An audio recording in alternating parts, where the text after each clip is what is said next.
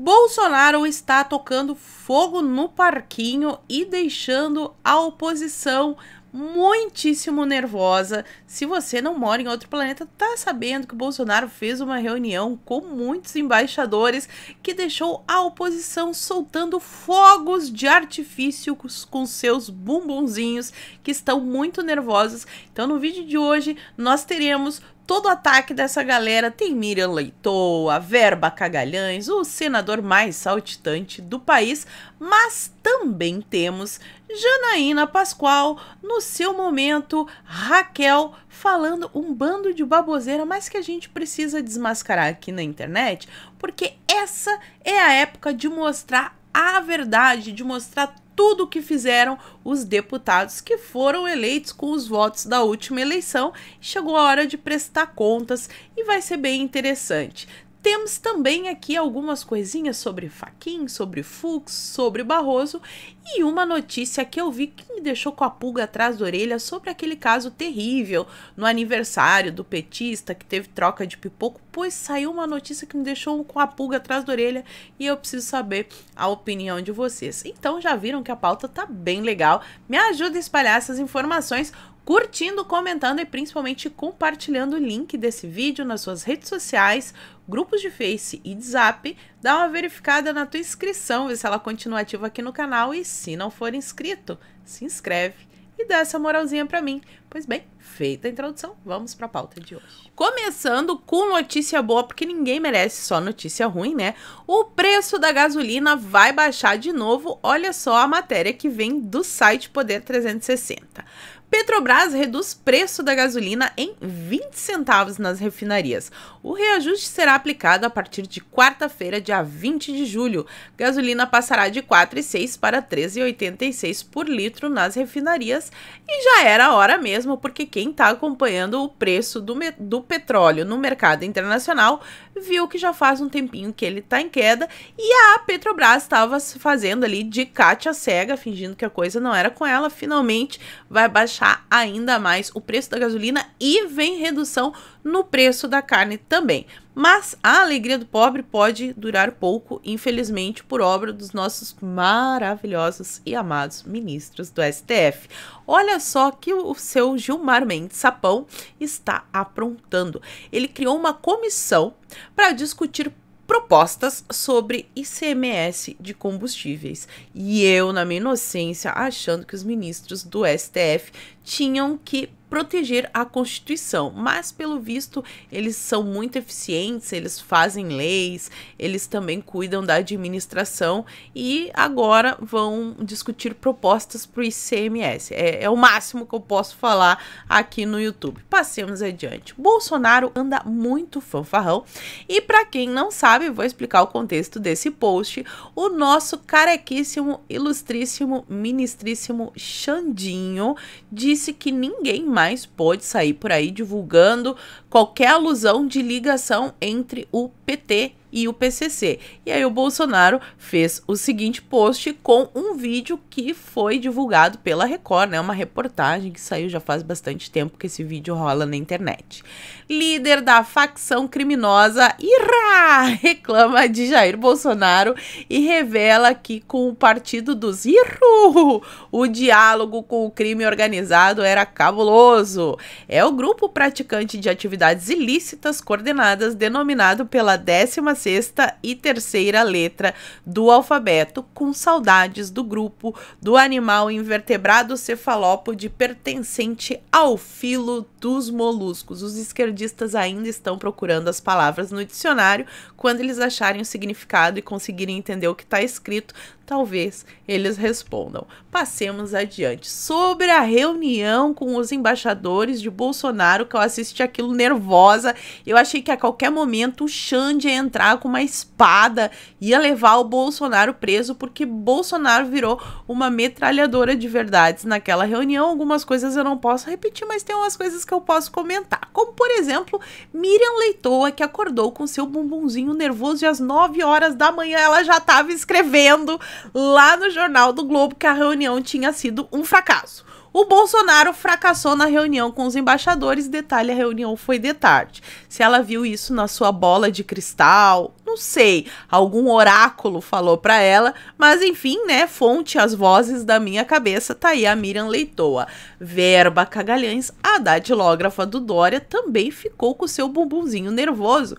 E ela fez uma thread pegando tudo que o Bolsonaro falou e mostrando que tudo aquilo era uma baita de uma mentira. Não vou ler tudo para vocês, mas eu separei algumas aqui porque eu fiquei confusa. Vamos ver se vocês podem me ajudar. Na alegação 8, que é sobre o ministro Faquim resolveu tornar Lula elegível, que o Bolsonaro fala isso, né? Aliás, muita gente fala isso, mas a verba Cagalhães acha que isso é fake news e a justificativa dela é a seguinte: em questões penais, Faquim ficou vencido no tema da execução da pena após a condenação em segunda instância e na competência da Justiça Eleitoral para julgar as ações oriundas de grandes esquemas de corrupção. Vencido, o seu Faquim aplicou a posição consolidada do plenário. Isso é o que a verba Cagalhães está dizendo. Mas aí, quando a gente pesquisa na internet, a gente se depara com artigos como, por exemplo, este do site G1. E aí eu fico confusa, porque, né, dona de casa fica lendo G1, fica influenciada pelas notícias do site. E lá tá dizendo aqui, com todas as letras, que o Faquinha anulou as condenações de Lula relacionadas a Lava Jato e o ex-presidente voltou a ser elegível. Quem é que tá fazendo a fake news? É a Verba Cagalhães ou é o site do G1? Por favor, TSE, veja qual dessas é a fake news e se for o G1 que estiver espalhando aí fake news, sei lá, dá 48 horas para ele explicar, bota o G1 no inquérito dos atos antidemocráticos, a gente não pode realmente aceitar que eles fiquem nos influenciando de maneira errada assim, né? Porque eu jamais pensaria isso, eu só tô pensando isso mesmo porque eu leio o site do G1, todo dia eu leio o site do G1. Outra mentira que tava lá no, no na thread da Vera Bacagalhães que ela desmentiu é essa daqui. Ela tá dizendo que é mentira que só três países usaram a urna eletrônica, essa que tem no Brasil, né? Que isso é uma grande mentira que o Bolsonaro tá dizendo. Aí, de novo, aí eu sou influenciada pela folha do seu Paulo. Quem entrou na minha cabeça foi Patrícia Campos Melo. A Patrícia Campos Melo, atenção, TSE. Patrícia Campos Melo está dizendo aqui na folha do seu Paulo que só Brasil, Bangladesh e Butão, e aí a gente contando são três países, né, usam a urna eletrônica sem comprovante de voto impresso, que é só esses três países decidam aí quem é que tá fazendo fake news, e se for a Patrícia Campos Melo, tem que botar ela no inquérito do ato antidemocrático, tirar a matéria do ar ou o G1, porque uma das duas aqui tem que ser mentira, né, as duas não pode ser verdade. Seu Faquin, logo depois que terminou a reunião, também fez um discurso político chamando a população às ruas para apoiar com outras palavras, mas basicamente foi isso que ele disse. Ele reagiu à reunião do Bolsonaro e falou que é inaceitável o negacionismo eleitoral. Negacionismo eleitoral foi boa demais. Gente, eles já estão aproveitando, eles estão reciclando os xingamentos da, da pandemia, né? Esse povo é muito ecologicamente correto. Nem xingamento eles desperdiçam. Antes era negacionista por causa da pandemia, agora é negacionismo eleitoral. Sensacional, Faquin. Gostei da criatividade. Então, o presidente do TSE disse que envolver a política internacional e as Forças Armadas é um fato ainda mais grave, como se o Bolsonaro não fosse ele, né, o chefe supremo das Forças Armadas, mas tudo bem, vai ver que essa parte da Constituição a galera não leu. Fux e seu topete sensual também se manifestaram aí a favor do Faquin, diz que não, Faquin é coleguinha, se ele disse, nós estamos juntos. Só vamos ver até quando que eles vão ficar juntos, né? Eu imagino, às vezes, aqui nessa minha cabecinha maldosa, que tem umas rixas dentro do, do STF que uma hora eles vão, assim, ir um para cada lado ou entregar a cabeça de alguém, porque a coisa tá feia por lá. Bom, Barrozinho, também fez comunicado especial para desmentir o Bolsonaro, porque durante a apresentação o Bolsonaro falou que o Barroso participou de um evento sobre como derrubar o presidente. Claro, ele com seu gabinete, somente pessoas técnicas, pessoas maravilhosas, ecologicamente corretas, rebateu e disse que é mentira isso daí, que na verdade ele fez uma palestra falando sobre democracias na, na América e tudo mais. Mas aí, de novo, ó, ah, fui influenciada pela Veja. O seu Gustavo Maia, jornalista Gustavo Maia, entrou na minha mente e fez eu acreditar nisso daqui. Ó, Barroso, é a Veja que tá falando. Tá dizendo que o Barroso participou de um evento nos Estados Unidos sobre como se livrar do presidente. É, a palestra foi sobre o poder executivo na América Latina, mas a palestra do Barroso, que tinha o um nome, estava inserida em um evento, e o nome deste evento era Como Derrubar o Presidente. Quem está dizendo é o seu Gustavo Maia, que se for fake news, manda a polícia lá na casa dele, não na minha. Eu só fui influenciada pela Veja a colocar isso aqui no, no meu vídeo, a grande mídia que está fazendo a minha cabeça para pensar essas coisas que eu penso, tá? Nosso senador que foi saltitado da casa dele até o STF. Agora ele está muito nervoso, ele pede providências. Vamos ver o que, que ele pede aqui. Né? Ele falou que não vai ter trégua. Ai, Bolsonaro fascista, negacionista, taxista e motociclista.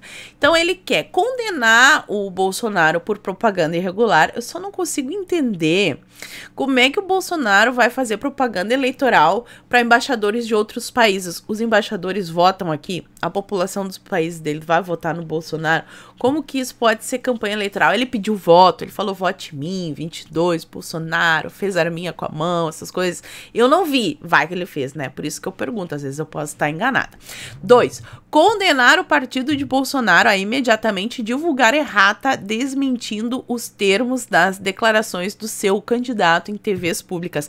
Acho que o seu Randolfo Rodrigues deveria comprar aquelas poltronas do papai, sabe? Que são bem confortáveis para esperar isso aqui sentadinho para não ficar com a coluna doendo.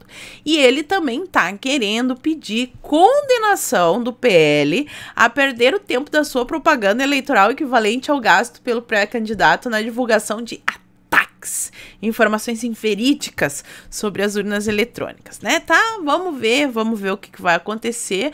Randolph Rodrigues, que é o coordenador de campanha do Lula, espumando de raiva, chegamos aqui na dona Tucaína Pascoal. Gente, essa hora agora é a hora da gente analisar realmente o que, que os deputados eleitos fizeram, o que, que eles disseram, como é que eles pensam. Claro que às vezes as pessoas mudam.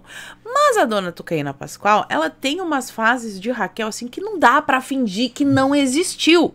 E não é que eu tô pegando o pé dela, é que isso aí que aparece na minha timeline e eu preciso trazer aqui para comentar com vocês, para ver também a opinião de vocês sobre isso. Vamos ler o que Tucaína Pascoal postou. Você que é bolsonarista, nossa, aqui que voltamos no Bolsonaro, né? Qualquer pessoa que, que, que não seja isentona ou de esquerda é bolsonarista para eles, mas enfim. Apontando o dedo na cara de quem não é tão bolsonarista quanto você, saiba que está fazendo campanha para o Lula. Não é hora de afastar, é hora de reunir. Eu concordo que a gente tem que reunir, mas é que tem certas coisas que a gente releva ah, tudo bem, não vou muito com a cara do fulano, né? Mas a gente aqui tá pela mesma causa, vamos, vamos junto nessa. Agora tem coisas, meus amigos, que não dá para relevar, não dá para relevar porque daí já é demais, né? A gente não quer um monte de Joyce lá de novo. Então vamos adiante. Então é hora de reunir. Afinal, não estamos em concurso de bolsonarismo, ok? Mas às vésperas de uma eleição muito difícil, será que é por causa que nós estamos nas vésperas de uma eleição difícil que Tucaína mudou tanto seu discurso? Porque assim, 2020, não faz muito tempo, 2020, ela estava pedindo a renúncia do Bolsonaro. Ela queria que Bolsonaro renunciasse, que Mourão assumisse a presidência e que o lockdown realmente fosse mais severo. Esse negócio da gente ficar fazendo manifestação na rua, querendo ir trabalhar, todas essas coisas, está errado. Tinha que ter um lockdown mais severo. Bolsonaro estava brincando com essa história de pandemia e ele tinha que renunciar. E isso daqui ela disse em 2020, gritando na Lesp, dando showzinho. Não satisfeita, porque foi uma chuva de comentários comentário lá, não satisfeita, ela postou uma matéria e pediu pra gente ler com a mente e o coração abertos para compreender o que ela estava dizendo. Que o radicalismo bolsonarista afasta as pessoas e vai trazer Lula e o PT todo de volta. Eles virão com tudo, é hora de reunir. Essa matéria lá do UOL fala que uma bolsonarista abandonou a militância e agora vai votar no Lula. E daí eles escreveram este artigo. Só que quando a gente vai pesquisar pelo nome da pesquisadora essa, a gente descobre que ela é a Michele Prado, que ela deu uma entrevista para o Diário do Centro do Mundo falando que no primeiro turno o ideal seria o Ricardo Meirelles, mas aí ela votou no Amoedo. E agora vem dizer que ela era bolsonarista e vai votar no Lula. Aí não dá. Além disso, essa outra matéria aqui da Gazeta do Povo fala que ela é discípula de Luciano Ayan. Luciano Ayan, que foi preso, o guru do MBL, que fabricou os dossiês para aquela CPI da fake news. Esse é o modelo de bolsonarista da Janaína Pascoal. Como é que pode uma deputada ser tão desinformada se ela tem uma equipe de assessores? Será que os assessores não estão fazendo serviço? Será que Janaína Pascoal é realmente bipolar, Ruth e Raquel? Ou será que ela tá na maldade, se fingindo de boazinha para ganhar o voto dos apoiadores do Bozo, mas descolando um pouquinho da imagem do Bozo, uma vibe meio Deltan Dallagnol, o que, que vocês acham? Fala para mim aqui nos comentários. E para finalizar, tem essa matéria aqui do Metrópolis que, gente, me deixou com a pulga atrás, eu achei isso aqui estranho. Achei estranho, pode ser implicância minha, mas enfim. O caso aquele do aniversário do petista que deu troca de pipoco e uma hora um atirou pedra, o outro atirou terra, um atirou. Uma confusão que nunca deveria ter acontecido.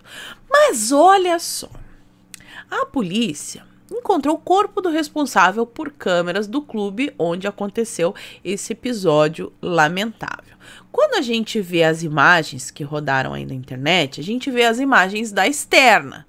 A gente não vê a imagem da interna quando ele tá conversando com a esposa do do, do que foi vitimado no, no ataque, ele saca, né, o instrumento aquele e fica um tempo ali e a gente não sabe o que estava acontecendo lá dentro. Essas imagens, essas imagens. Esse rapaz aqui que teria a senha para ver talvez até descobrir quem atirou primeiro, né? Não sei, mas ele apareceu Celso Danielizado. E eu achei bem estranho, bem estranho mesmo. Vocês não acharam isso estranho? Fala para mim aqui nos comentários, por favor, que isso eu quero mesmo saber de vocês. E por hoje eu vou ficando por aqui. Muito obrigada por terem assistido ao vídeo até o fim. Fiquem todos com Deus. Um beijo e até a próxima. Fui.